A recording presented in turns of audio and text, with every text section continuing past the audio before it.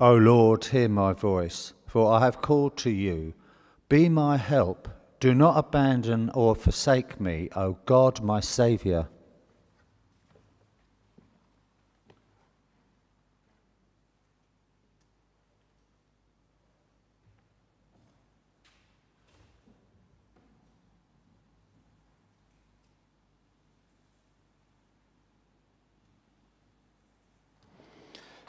In the name of the Father, and of the Son, and of the Holy Spirit, the Lord be with you. This Mass is offered for the intentions of Andrew. In our readings today, we are reminded that we have nothing of ourselves to boast of, but in what God does in us. And so, as we prepare ourselves to celebrate these most sacred mysteries, let us call to mind and confess our sins.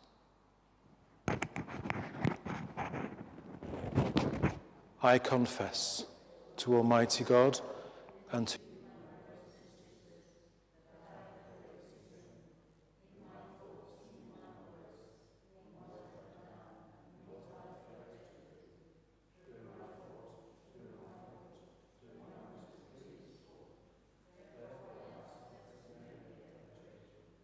the angels and saints, and you, my brothers and sisters, to pray for me to the Lord our God. May Almighty God have mercy on us, forgive us our sins, and bring us to everlasting life. Lord, have mercy. Christ, have mercy. Lord, have mercy. Let us pray. O God, strength of those who hope in you, graciously hear our pleas. And since without you mortal frailty can do nothing, grant us always the help of your grace, that in following your commands we may please you by our resolve and our deeds, through our Lord Jesus Christ, your Son, who lives and reigns with you in the unity of the Holy Spirit, one God, for ever and ever.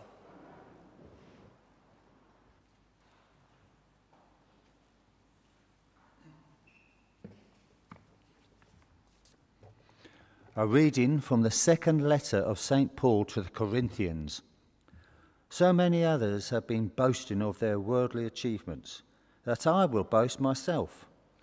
But if anyone wants some brazen speaking, I am still t- talking as a fool. Then I can be as brazen as any of them, and about the same things. Hebrews, are they? So am I. Israelites? So am I. Descendants of Abraham? So am I.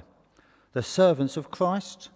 I must be mad to say this, but so am I. And more than they, more, because I have worked harder. I have been sent to prison more often and whipped so many times more, or often almost to death. Five times I had the 39 lashes from the Jews. Three times I have been beaten with sticks. Once I was stoned. Three times I have been shipwrecked, and once adrift in the open sea for a night and a day. Constantly travelling. I have been in danger from rivers and in danger from brigands, in danger from my own people and in danger from pagans, in danger in the towns, in danger in the open country, danger at sea, and danger from so called brothers I have worked and laboured, often without sleep. I have been hungry and thirsty, and often starving. I have been in the cold without clothes, and to leave out much more. There is my daily preoccupations, my anxiety for all the churches. When any man has had scruples, I have had scruples with him. When any man is made to fall, I am tortured. If I boast, then let my boast be of my own feebleness. This is the word of the Lord. The responsorial psalm The Lord rescues the just in all their distress. I will bless the Lord at all times. His praise are always on my lips. In the Lord my soul shall make its boast. The humble shall hear and be glad. Glorify the Lord with me. Together let us praise his name. I sought the Lord, and he answered me. From all my terrors he set me free. Look towards him and be radiant. Let your faces not be abashed. This poor man called, the Lord heard him and rescued him from all his distress.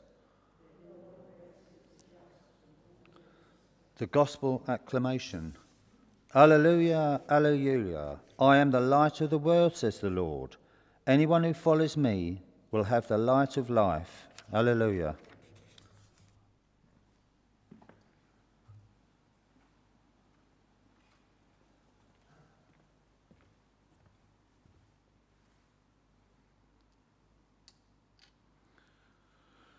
The Lord be with you. A reading from the Holy Gospel according to Matthew. Jesus said to his disciples, Do not store up treasure for yourselves on earth, where moths and woodworms destroy them, and thieves can break in and steal. But store up treasures for yourselves in heaven, where neither moth or woodworms destroy them, and thieves cannot break in and steal. For where your treasure is, there will your heart be also. The lamp of the body is the eye. It follows that if your eye is sound, your whole body will be filled with light. But if your eye is diseased, your whole body will be in darkness. If then the light inside you is darkness, what darkness that will be. The Gospel of the Lord.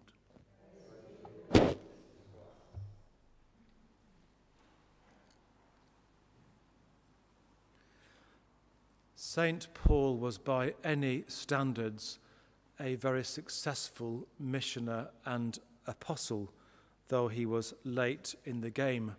He gives a list here of many of the cal- calamities that have beset him as an apostle on his three missionary journeys. He's speaking to a community in Corinth which vexed him particularly because of their wayward ways to stray back to the old faith of pagan Greek idols. But nevertheless, he boasted of his achievements. But in the end, he realized that despite being a Jew amongst Jews and, in fact, a great leader in the law, none of this was really worthwhile. For he says, as we find out tomorrow in the continuation. For it is when I am weak, then I am strong. It is through all these beatings and tortures, shipwrecks and hardships that he realizes his great strength. And why does he do that? Because he sees it in the passion of our Lord, what seems to be the greatest calamity in the Christian faith the defeat of our Lord on the cross, in the world's eyes, was in fact the greatest victory. Each time we come to Mass, we join in that eternal sacrifice of our Lord on the cross. It is our greatest victory. It is the greatest food for the journey, and that which will lead us out of the darkness that, that St. Matthew speaks of but into the light. It will help us to realize that in our failures and our weaknesses, that God's strength may be shown. If we set ourselves truly on the things of heaven, then we shall truly be saved.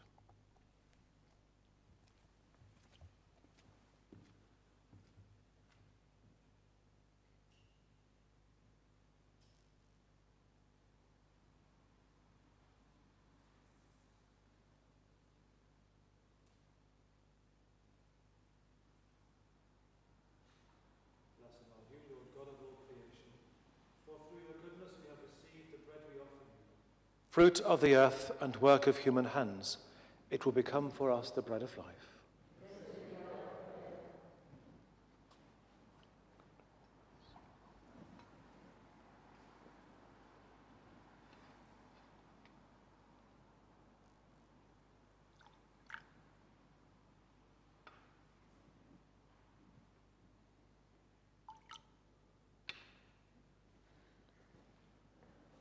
Blessed are you, Lord God of all creation, for through your goodness we have received the wine we offer you, fruit of the vine and work of human hands.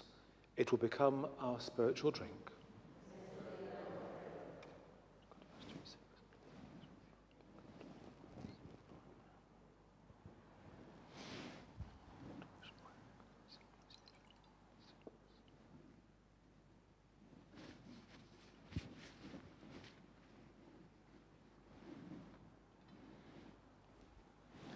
Pray, my brothers and sisters, that my sacrifice and yours may be acceptable to God the Almighty Father.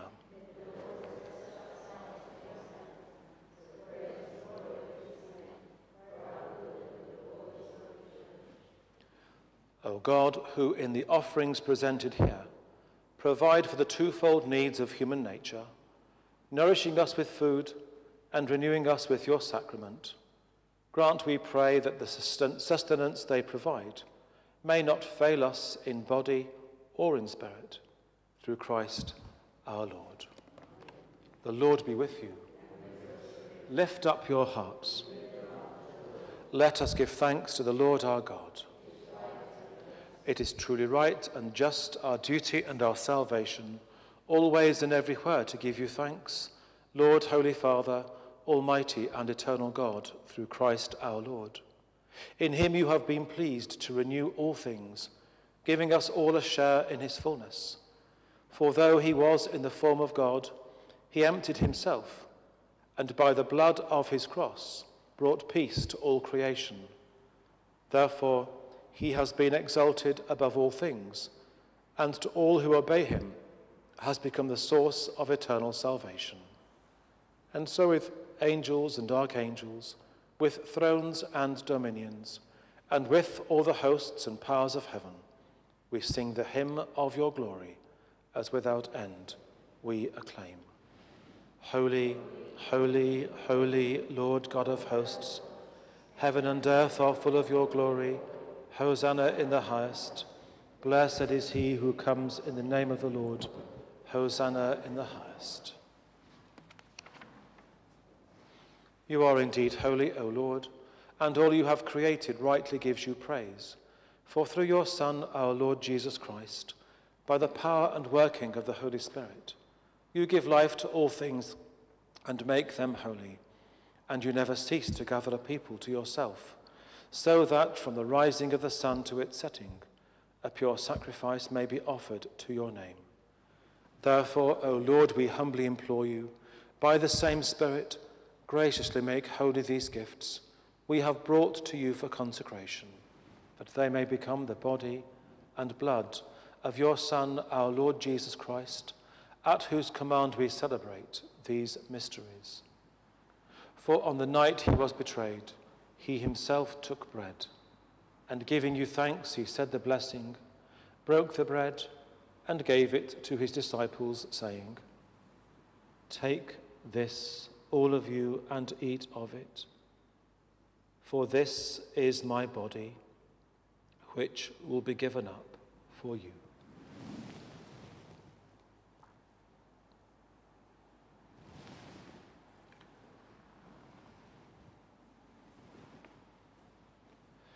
In a similar way, when supper was ended, he took the chalice and giving you thanks, he said the blessing and gave the chalice to his disciples, saying, Take this, all of you, and drink from it.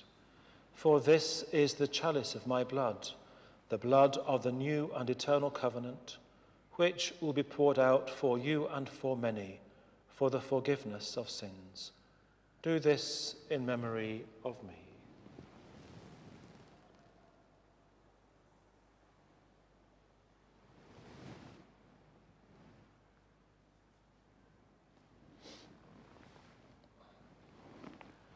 The mystery of faith.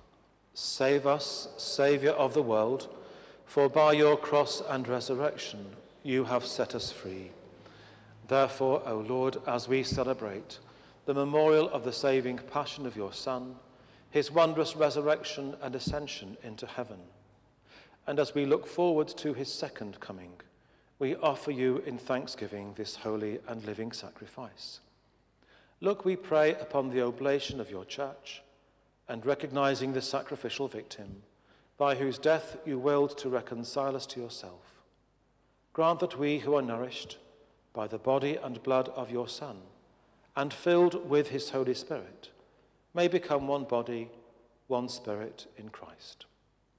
May he make of us an eternal offering to you, so that we may obtain an inheritance with your elect especially with the most blessed Virgin Mary, Mother of God, with blessed Joseph, her spouse, with your blessed apostles and glorious martyrs, and with all the saints, on whose constant intercession in your presence we rely for unfailing help. May this sacrifice of our reconciliation, we pray, O Lord, advance the peace and salvation of all the world. Be pleased to confirm in faith and charity your pilgrim church on earth with your servant Francis our Pope and Alan our Bishop, the order of bishops, all the clergy, and the entire people you have gained for your own. Listen graciously to the prayers of this family, whom you have summoned before you. In your compassion, O merciful Father, gather to yourself all your children scattered throughout the world. To our departed brothers and sisters, and to all who are pleasing to you at their passing from this life. Give kind admittance to your kingdom. There we hope to enjoy forever the fullness of your glory, through Christ our Lord, through whom you bestow on the world all that is good. Through him, and with him, and in him, O God, Almighty Father, in the unity of the Holy Spirit, all glory and honor is yours forever and ever.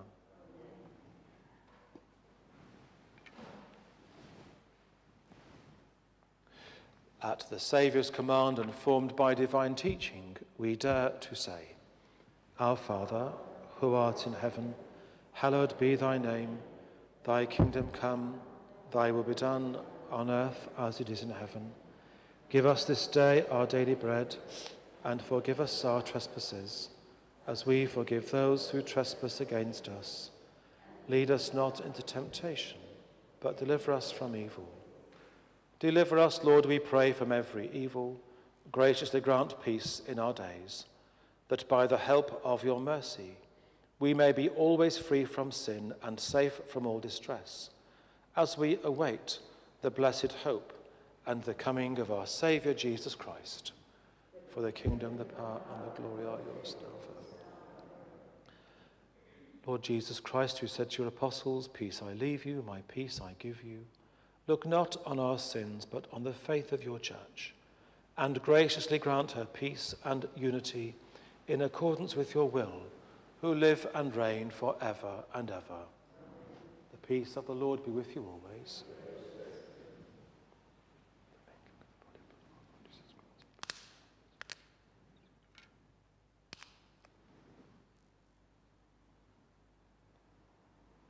Lamb of God.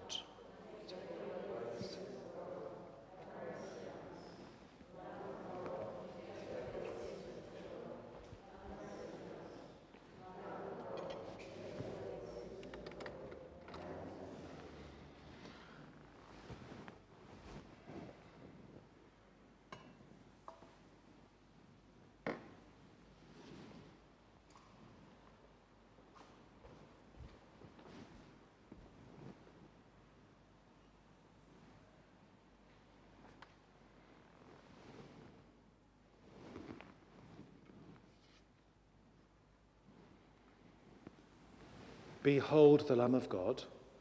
Behold him who takes away the sins of the world. Blessed are those called to the supper of the Lamb. Lord, I am not worthy that you should enter under my roof, but only say the word, my soul shall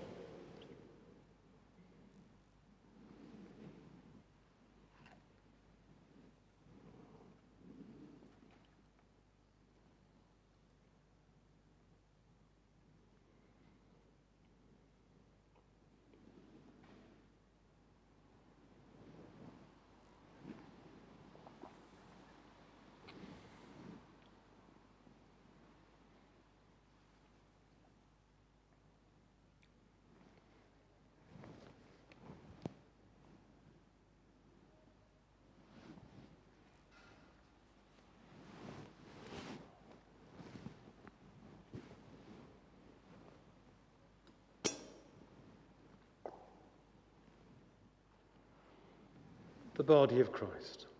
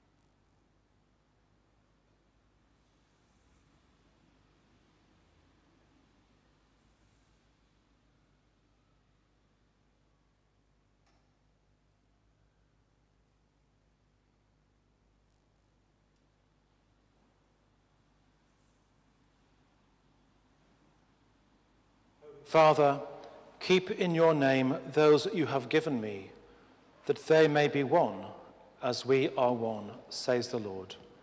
Let us pray. As this reception of your Holy Communion, O Lord, foreshadows the union of the faithful in you, so may it bring about unity in your church through Christ our Lord. The Lord be with you. May Almighty God bless you, the Father and the Son and the Holy Spirit. Go in peace. Thanks be to God.